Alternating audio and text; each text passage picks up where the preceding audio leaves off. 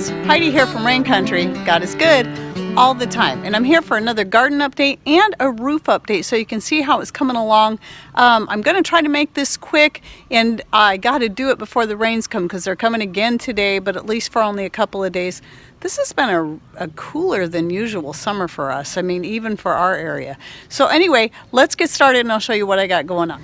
All right, well, you can see here lots of roofing stuff all over the place. And so Unfortunately, it kind of detracts from the beauty of my front yard garden, but look at that roof come along.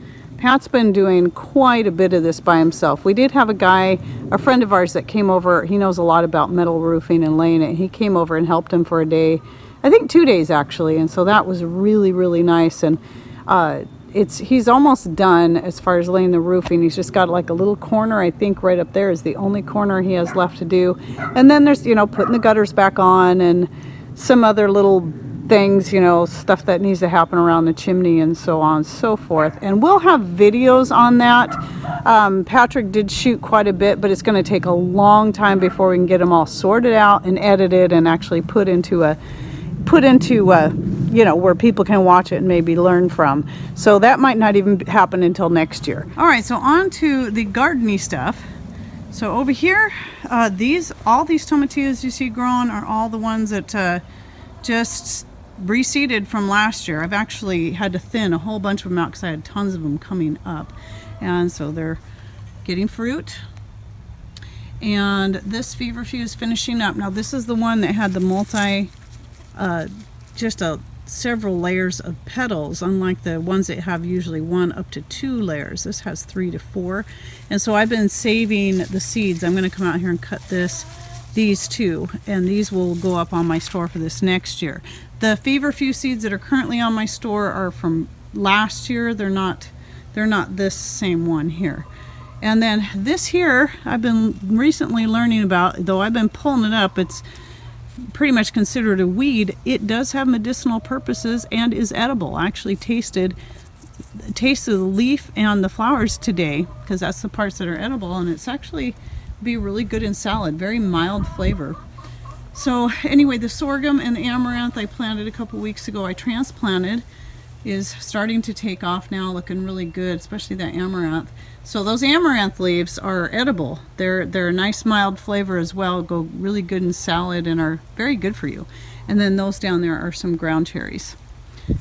The zucchini, this is my dwarf peach. Zucchini is doing really good, as zucchini tends to do. And this is about three feet tall, these plants, and uh, at the tallest, I'm guessing and uh, yeah getting lots of zucchini making all kinds of things. If you haven't seen my what to do with all that zucchini or whatever I called it uh, I'll go ahead and link to that up in the corner. And also I'll be starting to when I remember to put links to videos uh, in the description box to make it easier for people using their smartphones. So here are the uh, the kohlrabi I keep forgetting to talk about. And uh, it's, uh, again, new to me this year. I've never even tried kohlrabi. I don't even know what it tastes like. I, I have this feeling, though, I'm going to really like it. Got a couple more ground cherries. Uh, that is some bee balm. And then that's that, that little sprig of lemon balm that I took from the other plant and put up here. That's what it looks like now. And I've actually cut quite a bit off of it. It's doing really good. I think it's going to like it much better out here. So more amaranth. These are those giant mammoth beets that I'm really curious about. So we'll we'll see if I like these. These are doing really good. They're doing better than the other beets. Look how far behind these are. Calendula, that's a daylily, that's edible. My uh, oregano on both sides here and over there are all going to flower. Sage, mint everywhere, uh, marshmallow. And then you can see I moved a, the golden oregano, that was in the back garden. I moved it out here because it was getting too overshadowed by the taller plants and another golden oregano and most of my nasturtiums my dwarf ones have finished up but this one's actually still giving me some flowers. And then here's my little strip of garden. So I'm going to be taking this marshmallow plant out at the end of this year and using the roots. And because I'm going to save this all for shorter herbs things don't get so big. I might keep that marshmallow and that one but I'm going to take this one out too so this is all going to be for thyme uh, the dwarf nasturtiums the calendula the bee balm the rosemary all that kind of stuff. Things that aren't don't get quite so huge. But then, you know, of course, also have my valerian. Look at this thing. Look how good it looks. It might not be eight feet, feet tall, but at least it's a little more manageable down here. And I've actually been taking some leaves off here and dehydrating them. I'm hoping to save some seeds this year. So I haven't been taking all the flowers to dehydrate because uh, I want to see if I can save some seeds and try some plants next year. I probably won't be selling the seed on my store until I know I can get a good viable seed off of here. Coming around the corner to the west herb garden, my echinacea here is looking really good. This was, um, they don't flower until the second year. So this was from seed that I started last year from the seed I saved from the year before that from my one of my echinacea plants. So there's my rose, catnip, there's some oregano in there, feverfew, the elderberries, yikes, yikes. And this was after pruning it way back and it just even no matter how much I cut off these things they still get twice as big as they were the year before. So lavender woolly lamb's ear and I have been saving some flower heads off of these. When they start looking like this I need to cut it, come out here and cut off some more hoping to get enough to put uh, where I can collect some seed for the store this year because I didn't have any to put up on the store last year. So oregano that's my original lemon balm more lavender the mojito mint. This is a smaller elderberry. More lamb's ear, more peppermint. This is that huckleberry that I, it was just doing horribly out back and now it's finally got life on it. Finally after all these years. So sage, catnip, and horseradish here and over there. I always walk right by my apple tree and forget to show it. So apples are pretty pretty well loaded. It's shedded quite a few apples and I've been adding them to my vinegars so they don't fully go to waste. Coming back down to this opposite end, here's the little apple tree that I had in a pot for years. Some of the apples have fallen off and there was a deer in our front yard uh, the other day and you could tell it had been nibbling on the branches. So yeah but it still looks really good and the apples that are left on there and there's another golden oregano but the apples that are left on there look look pretty healthy. All right up here on the deck this is that little corner right next to the shop and I wanted to show you these onions that I started. It's okay doggy. He's upset because Patrick left without him uh, he'll be back. Anyway, I just started from some I bought at the store because I wanted some, I didn't have enough green onions that came back from last year. So they're doing, you know, I used up the green onion off it, put the little stubs in there, and I'm getting plenty of green onion off of there. Now right here I had snow peas and the beans growing, but since my snow peas are all finishing up and shading out my uh, beans, I very carefully took the snow peas out of there and then rewrapped the uh, the beans up here. So these ones are a little farther behind than some of the other ones, I think, because the, the snow pea plant was shading it out just way too much. But now it's really starting to grow. And it won't be but a couple more days and I'll have some, in fact, this one here is just about ready. In fact, I could pick that one right now. And you can see my grapes here. Grapes are coming along. Let's go over here. It seems like this section over here is the section that always seems to get the most all in one place. Look at that all in there. And this is with me constantly hacking these things back because they just overtake the deck. So I'm not going to talk about everything in the main garden, but look at my corn. It's almost as tall as me now, at least that one is. So looking good. I wanted to show you here. I finally got some lemon verbena again. My neighbor gave me a couple of little starts that he had and I I broke off the tops of them so that they would really branch out and make a lot more. I love lemon verbena. I love the smell and flavor of it better than lemon balm. Okay, noisy. That's Kicking Bird this time making the noise. Hey, shh. Anyway, you can see that red orach is starting to grow. That one, when the sun shines through it, it's just beautiful. Why do you have to follow me around and make noise? This is the garden huckleberry. This is going to be totally, grr, this is going to be totally new to me this year. These will get almost black, or I think they do turn black. And you don't want to eat them raw. They're, they're not very, apparently they can be toxic and they're not very flavorful. but apparently they make an excellent jam, jelly, and pie. So I thought it was, you know, I, I just thought it was interesting. I'd give it a try. And some of the tomato plants I put out here are doing so-so. I did get a few ripe ones off here so far, but obviously not doing as well as the ones in the greenhouse. Now this, I keep also forgetting to show. Probably a bad idea planting it here, but this was, Michelle Justice gave this to me at the homesteading fair that we did, you know, we went to and spoke at back in May. This is the sorrel, and it just has a wonderful, very tart flavor. Now, personally, I don't know if I'd use it in salad myself, but I really like to just come out here and munch on the leaves. I think it's good, but it's gotten huge. She told me after I put it in the ground, she told me that she keeps hers in a pot. Um, I'm kind of thinking maybe I should have done that, but we'll see. Um, I'll probably cut these seeds off because I certainly don't need any more. All right, quick look at my bean and pea trellis. It might look a lot thinner, and that's because I pulled out most of the pea plants except for this one right here at this corner and then one on the other side over there because the peas are pretty much done. I've got plenty of peas dehydrated up. Beans are more important to me than the peas. And so I, I needed to get those out because it was slowing down the growth of my beans. And I can tell just since pulling those out a few days ago, these have really been taking off and looking a lot better. I've been getting quite a few beans off already. I've already processed a load of uh, where I got eight pints of the green beans and then I went ahead and canned up some dried beans to go with it. I got to get out here in a little bit and pick some more beans.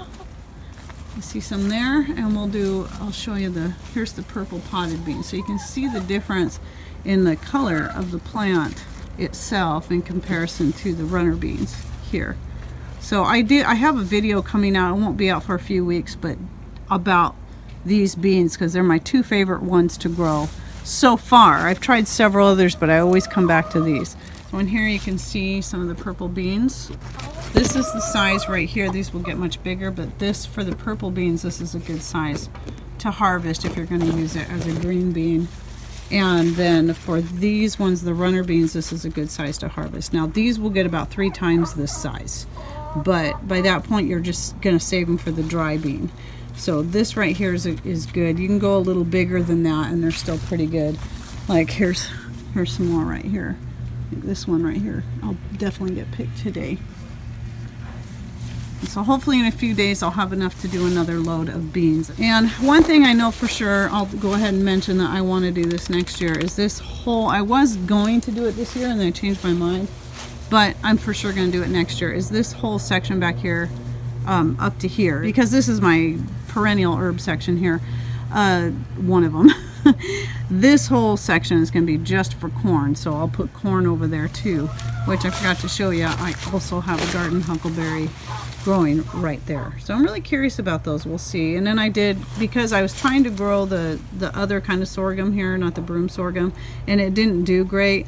I just clean, I cleaned it up. I did actually clean it up originally. There's actually one still right there, but you see how much farther behind it is than the broom sorghum, which is what that is yeah, it's not liking it here. So next year this will be all corn. So anyway, I've just been filling in the gaps here with the with the garden huckleberry, the broom sorghum, with a couple of tomato plants that are just doing so-so. But uh, anyway, then next year this will all be corn. The, the pea plants I am leaving, like this one here that's in the pot. It's in a pot with it, with my currant, one of my currants. I'm just letting go to seed. I do still occasionally come out and uh, and uh, munch on these, but they're kind of to that point where they, even when they're small, they're tough. So they're they're done. They're just good for seed. So look at this echinacea, how beautiful it is. This is the oldest echinacea I, I currently have in my garden. I had one over there that was older, but I, last year it up and died on me for some reason. So this year, the, these marshmallow plants, these two here, are coming out at the end of this year. So because they're too big now, I mean when I first put them in here they were just little guys. Now they're too big.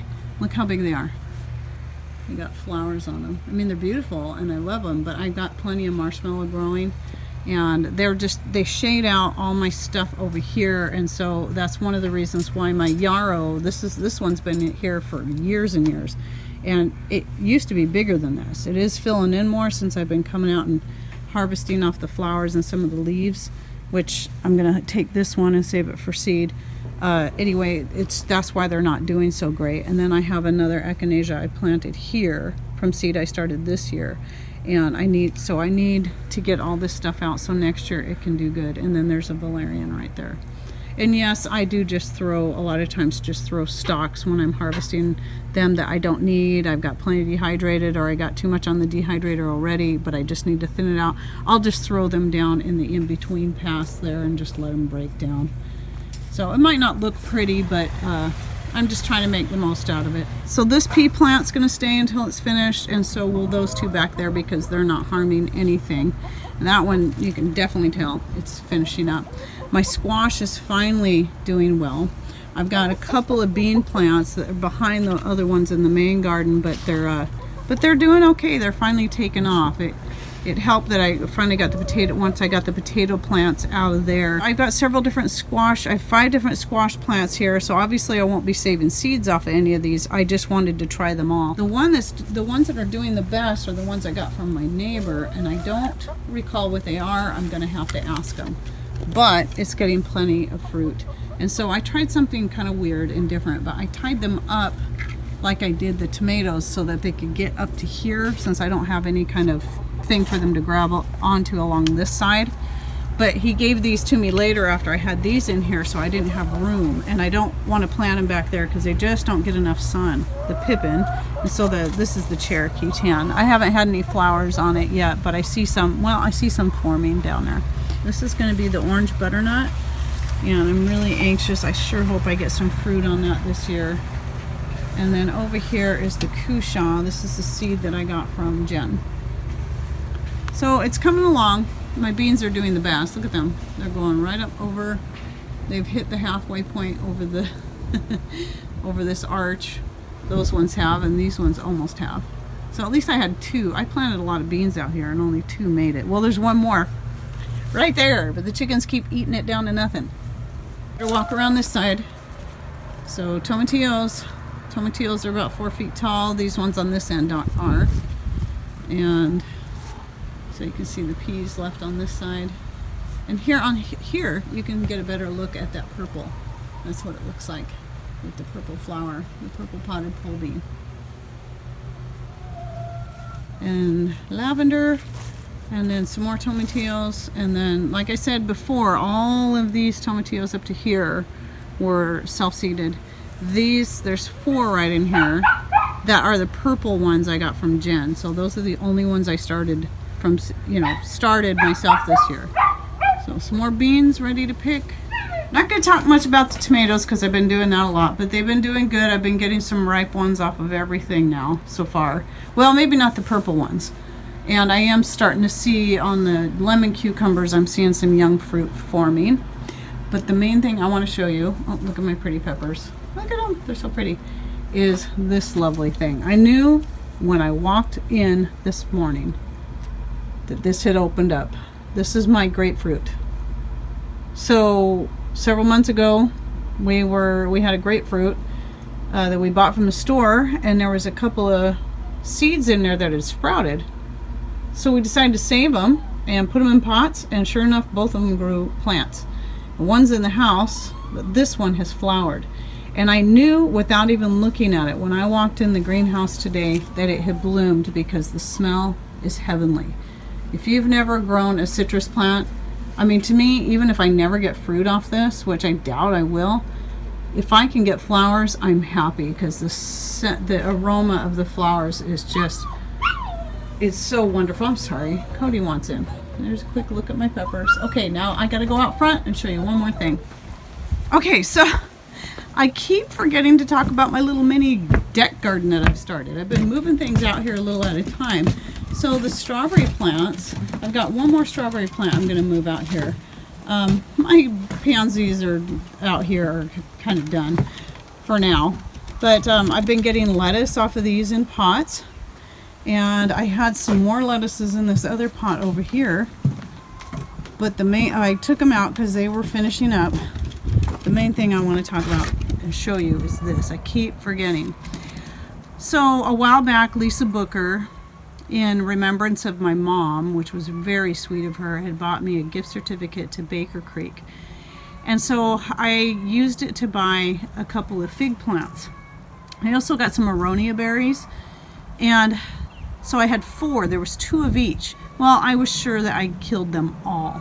But one of the figs came back and I am just so happy. Man, I was heartbroken when I thought all of them had died.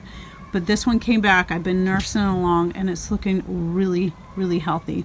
But I need to get some more soil in here but I because I had some lettuces in here and they used up a lot of that soil so I got to get some more added in but uh, because the lettuces just were exploding. I had to keep harvesting these ones just so they wouldn't totally shade out my my fig all right, well, that's my garden update for this week. And just so you know, in nine days from today, or the day that I'm shooting this, so this will probably go up in a couple of days. So in a, right at a week from the time you're seeing this video, uh, my son will be getting married. So it's very unlikely I'll be doing a garden update. My garden updates are the only things I put up like right away. Everything else is out like three to four weeks. And so I'm covered for for quite a while. So uh, you won't be seeing any like recent updates like garden, anything garden related and such. So uh, just keep that in mind. I might only get five videos uh, published next week. It's going to be busy. We got family coming as all as I'm sure you can expect. But anyway, it'll be it'll be fun. It'll be a fun family time and just I'm so excited to see my son marrying Kayla. I mean she's a wonderful lady. I love her so much. So be watching for my next garden update probably in about two weeks. Thanks for watching. Take care and God bless